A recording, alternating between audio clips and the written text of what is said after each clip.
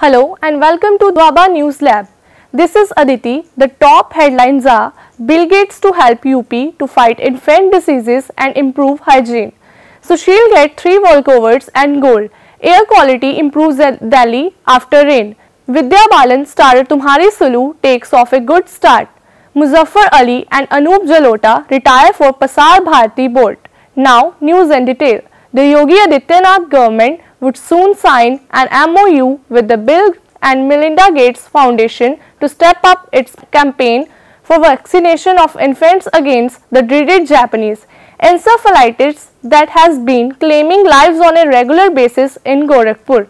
At a meeting between the Microsoft founder, philanthropist Bill Gates, his wife Melinda and UP CM Yogi, it was decided that the MOU for a 5-year contract would take up general health issues of young mothers and their newborns along with allied issues.